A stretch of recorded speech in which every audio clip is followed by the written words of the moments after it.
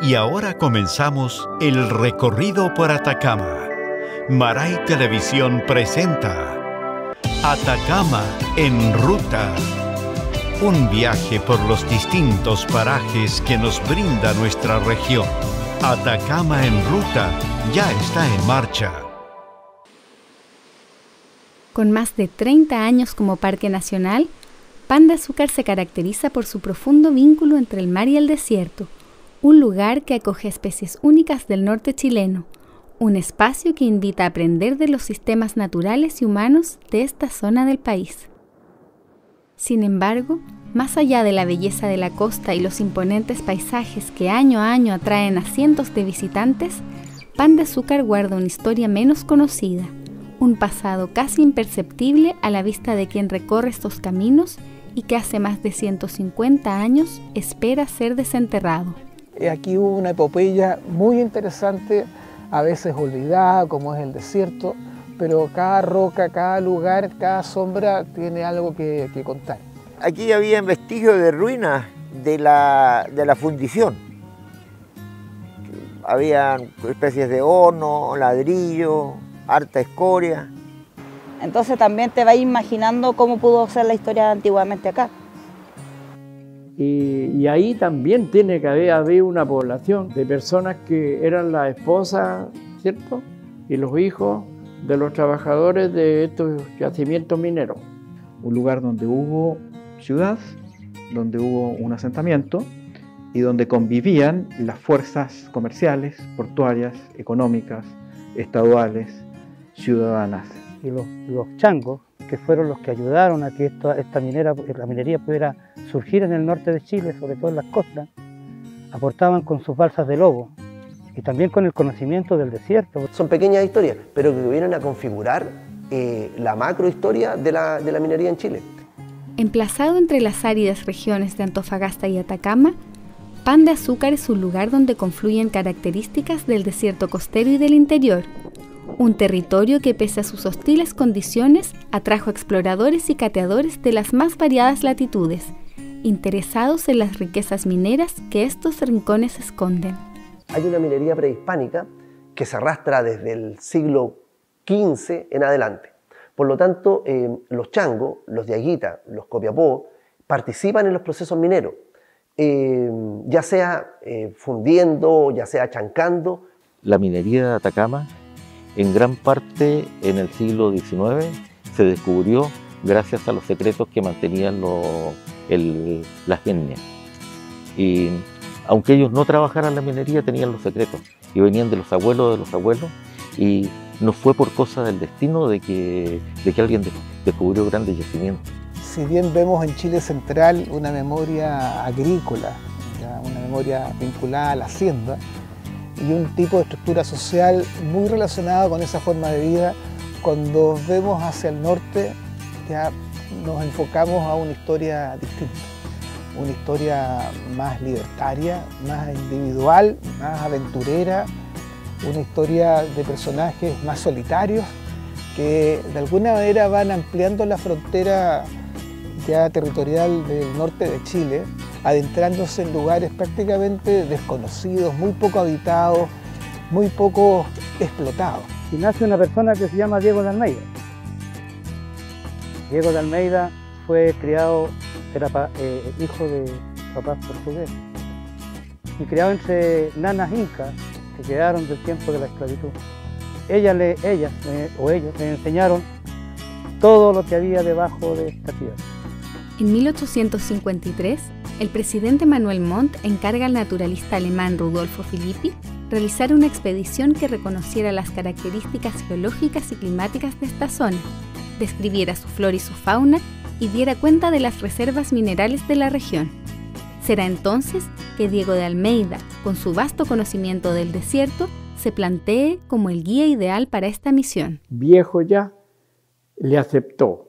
Como último viaje le dijo, yo lo llevo por el despoblado de Atacama, era el viaje, pero por la costa. Y volver, eh, digamos, en la parte de el centro o la cordillera central, no la de la costa. Y cruzan el desierto. Y en, su, y en su gran travesía que ellos hacen van pasando por varios lugares y entre eso pasan por una parte de Pan de Azúcar, en el lugar que se llama Cachinal de la Costa. Ahí hasta, habían unos changos que tenían una guada y que podían descansar y que eran amigos de Diego de Almeida. Pero cuando llegan y, presentan el informe, Rodolfo Felipe le dice a Manuel Mon, al presidente de aquella época, y presenta un informe lapidario donde dice, en esta región de Atacama no puede subsistir nadie. Lo único que se encuentra en este lugar son changos, harapientos que viven de la pesca y de la caza. No es fácil aventurarse en estos territorios, mucho menos con la indiferencia que en ese entonces el Estado chileno, desalentado de invertir en el despoblado, parece haber manifestado hacia el desierto.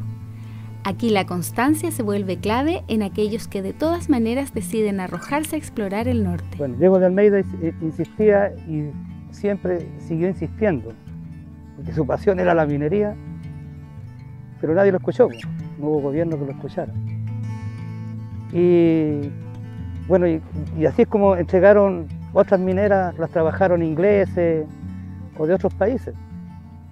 Hasta que con el correr del tiempo, eh, el tiempo le dio la razón a, a, Diego de Almeida, porque las mineras más grandes que existen en Chile, él ya venía avisando de que ese oro y ese cobre existía en esos lugares, pero nadie lo tomó en cuenta. La minería fue un espacio de vitalidad que generó, digamos, ya la inquietud, que generó, digamos, la aventura de centenares de personas que se atrevieron a incursionar por el desierto, en muchos casos de manera solitaria, durante meses buscando ya las minas, ya cateando, digamos, ya los cerros, buscando posibilidades, digamos, de esa riqueza que en la mayor de los casos fue efímera o fue, digamos, muy perversa, fue muy esquiva para estas personas. Pero así también hubo varios de ellos que tuvieron suerte y que marcaron un hito en el siglo XIX de la explotación eh, minera, sobre todo desde el punto de vista, en la parte, no dejemos de recordar lo que es Chañarcillo con la explotación de plata, y después cómo se avanzó en esta especie de expansión de buscadores ya, y que lograron descubrir otro tipo de minas como las minas de cobre y permitieron la existencia, digamos, de, de, estos lugares. Es en 1855 cuando Manuel Briones y los hermanos Juan y Ramón Osandón descubren el mineral de Carrizalillo, yacimiento de cobre que por 5 mil pesos de la época venden a la Compañía Inglesa de Minas, marcando el inicio de lo que llegaría a ser el puerto de pan de azúcar.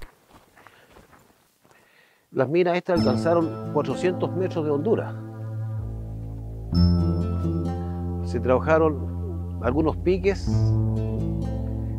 eh, de 6 metros distantes cada uno para facilitar la extracción de los metales.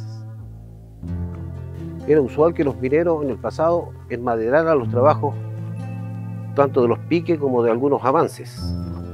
Y por aquí también, en estos piques, se sacaba el metal, usándose los peinecillos y los malacates, tracción animal también.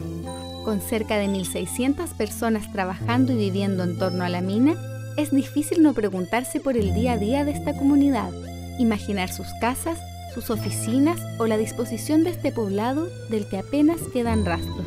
Aquí hay una construcción pericada que eran las habituales habitaciones que los mineros construían para albergarse en algún yacimiento. Probablemente este lugar haya sido uno de los primeros que hubo para la explotación y contener gente donde se dirigían hacia la mina que está hacia el sur. Esta explanada seguramente también debió haber tenido una importante cantidad de construcciones habitacionales. Hay varias pircas y hay una presencia ahí de un objeto de cuero de lobo marino que debe haber sido parte de algún tipo de, de capacho minero.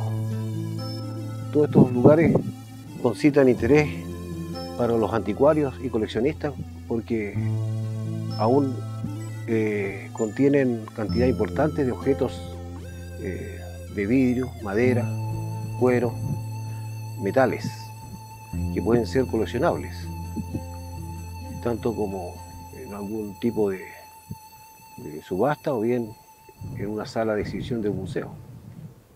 Con la explotación de carrizalillo, se hace necesario generar una ruta para exportar el mineral extraído, un camino por donde hombres y animales crucen el desierto hasta llegar al mar. Es el puerto norte de Chile, ese es el límite real de Chile. Eh, nosotros nos han contado diversas historias, en fin, de que era más al norte, pero este es el límite norte de Chile. Eh, y Pan de Azúcar representa ya lo más septentrional del norte chileno, del, verdadero Chile de, aquel momento. Eh, la fecha exacta del surgimiento de pan de azúcar eh, aún no lo podemos visualizar en concreto, pero es en torno a 1860 que lo más probable es que haya surgido la caleta o puerto de pan de azúcar. Al parecer la primera, el primer puerto en exportar cobre que venía desde el mineral Carrizalillo, eh, bueno, la traían con bueyes a esta zona, eh, había un muelle al medio de la playa, entonces hay harta historia también minera. Fuimos, había aduana, uno de los aduaneros fue Máximo Villaflor, llegó súper joven, eh, tuvo el cargo. La construcción del norte se hace posible gracias a la labor de personajes que vieron el potencial de esta región y que se rebelaron al centralismo capitalino planteando un enfoque de expansión republicana. Entre ellos, la figura de Máximo Villaflor resalta por sus múltiples roles como funcionario público, juez, historiador, periodista, aduanero y encargado del correo de pan de azúcar, lugar en que vivió por aproximados 30 años. Y esta es la historia de cómo se consolida Chile por medio de los habitantes del desierto, por medio de los empresarios mineros y por medio también de estos hombres que vivieron ahí, que tenían toda una impronta político-cultural de desarrollo y de bien común y de futuro, que permitió el asentamiento de una república estable como la conocemos hasta el día de hoy. Este es el principio del Chile colonial, es el principio del Chile republicano hasta 1884. Entonces, desde esa perspectiva, Em, esto que hoy día es un santuario ¿no, cierto? de la naturaleza, y, pero que además es, em, tiene, tiene esta, esta, impronta histórica, no se ha puesto en valor y no se ha relevado que este era el puerto norte de Chile, o sea, era la entrada o la salida de Chile, si ustedes quieren verlo así. Poco a poco, Pan de Azúcar se construye como un lugar donde chilenos y extranjeros encuentran trabajo y establecen a sus familias, propiciando la creación de comercios e intercambios con los barcos, adaptando sus modos de vida a las condiciones que ofrece el desierto. Un lugar donde hubo ciudad, donde hubo un asentamiento y donde convivían las fuerzas comerciales, portuarias, económicas, estaduales, ciudadanas. Pero pese a que todo el movimiento ocurría en el pueblo, aquello que daba vida a Pan de Azúcar estaba al interior del desierto, donde la actividad minera continuaba sin descanso. Y aquí podemos observar fácilmente los surcos que dejaron las carretas en dirección a Carrizalillo. Carrizalillo, como vemos, es, esos afloramientos, esos afloramientos verdes de minerales o estériles. El uso, digamos, del ferrocarril nace por una necesidad de la abundancia de minerales. ¿ya? Sabemos hasta el año 1884 aproximadamente de que se produjeron dos millones y medio de quintales de cobre, eso implica de que un quintal tenía un peso de 100 kilos. Para hacer más llevadero el recorrido bajo el sol del desierto, la compañía inglesa mandó a construir un ferrocarril que abarcaba los cerca de 14 kilómetros de distancia entre la mina de Carrizalillo y el sector de las bombas. Primero alto en el camino hacia el puerto, donde el mineral era seleccionado y ensacado son estas las huellas que quedan solamente de ese tiempo, que pueden ser observadas con una trocha de 80 centímetros. La trocha es la distancia que separa un riel del otro. Y los, changos, que fueron los que ayudaron a que esta, esta minera, la minería pudiera surgir en el norte de Chile, sobre todo en las costas, aportaban con sus balsas de lobo y también con el conocimiento del desierto, porque son ellos los que hacen todas estas rutas para atravesar las carretas hasta Pan de Azúcar. Yo creo que el aporte de los changos era el conocimiento del lugar, amo de las costas, también eh, cuando se internaban en los cerros, el intercambio también, no sé, pues, eh, que podrían traer este, el, agua, porque también está Cachinal de la Costa, que era un punto de encuentro donde, eh, donde hacían intercambio de agua. Bueno, acá, no sé, por los mariscos, el pescado. A mi parecer ese era como el rol de los changos.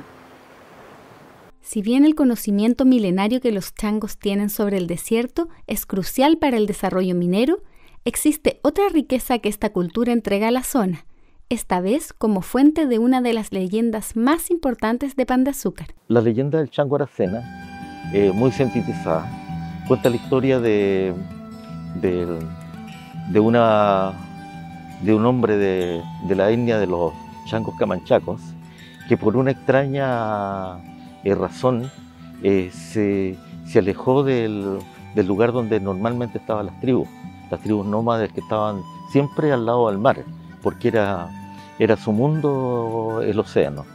Entonces él vivió muy lejos en el cerro que hoy es conocido como la, ruina del Chango. Pensaban que tenía un, derrotero de una mina de oro, porque aparecía de vez en cuando en el pueblo con, con harta moneda.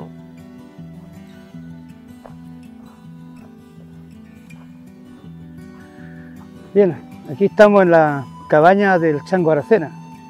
Esta cabaña es del tiempo de por allá de 1850, por esos lados, cuando estaba el auge minero. Acá vivía este caballero, por acá cerca, o debajo, o del otro lado del acantilado, tenía un derrotero de plata, una mina de plata, que nunca fue encontrada. Pero acá, en este lugar, bueno, está un poco más restaurada, pero acá donde él vivió se ha contado la historia algunas veces o la leyenda de que, fue un asesino. Y no, no era el caso. Él fue un hombre muy honrado que, como decía al principio, él se conformó con, eh, con lo que sacaba, con lo que vendía, para no, no para hacerse un hombre, un hombre rico. Eh, a lo mejor su mentalidad, su, mentalidad de su eh, le daban esa sabiduría. Pero quien fue ambicioso fue su sobrino Mariano, él ya había muerto, como contaba, le dejó el, secreto de la, de la, mina. Bueno, cuentan de que este, este Chango Aracena eh, trabajaba la mina y bajaba con todo lo que era, el cuánto se llama, el, su producto o la plata que bajaba a venderla a Chañaral. Y la cambiaba, se ponía a tomar, iba ahí a las casas de remolienda y a todo el mundo le, le llamaba la atención por qué tanta ¿De dónde sacaba tanta, tanta plata? este hombre que era, eh, traía gente a trabajar a la mina y una vez que ya iban a vender el oro, eh, mataba a los que traía a trabajar para que nadie supiera dónde estaba la mina. Dice que cuando lo seguían, desde lo alto él disparaba. Y el chango lo trajeron detenido a Copiapó, ¿sí? amarrado, y en medio de dos caballos y en el medio amarrado y lo trajeron caminando. Castigo enorme desde ese poblado hasta Copiapó. Y lo amarraron en el palo de castigo en la plaza de Copiapó. ¿Sí? Y le dieron del latigazo. Eh, nosotros creemos de que el chango mm, eh, Aracena eh, fue una persona que intentó defender su heredad minera porque en esos tiempos era muy usual de que algunos se apoderaran de yacimientos a personas que tenían niveles eh, intelectuales o culturales muy eh, diferentes a los que vivían en la ciudad. Varias semanas duró el juicio y el cura salía de ahí de la catedral a darle comida en la noche y agua. Y él, en agradecimiento, dice la historia, que le hizo hacer un mono donde él tenía las minas. 170 años después del juicio que se realizó en 1842 a Rafael Aracena, el astrofísico danés Holger Pedersen muestra una nueva arista sobre el enigma del derrotero, que plantea que la supuesta mina de plata del Chango Aracena habría sido confundida con meteoritos caídos en el sector de Vaca Muerta. Distintas son las versiones que a través del tiempo se han creado sobre esta historia. Lo cierto es que el Chango Aracena fue ejecutado en 1842 en la plaza pública de Copiapó, y que pese a los intentos de diversos cateadores atraídos por el supuesto derrotero de su mina, el enigma sigue sin ser aclarado.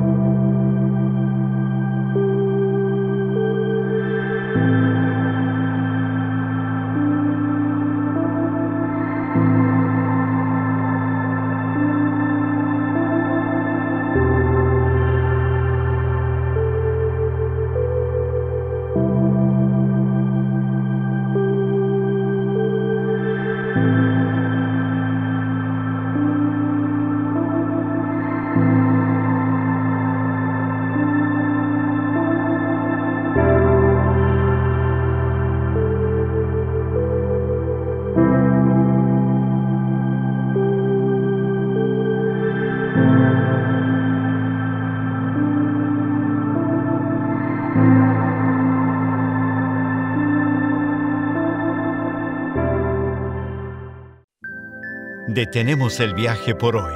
Esto fue Atacama en Ruta, un recorrido por la magia de nuestra región. Atacama en Ruta fue una producción de Maray Televisión. Atacama en Ruta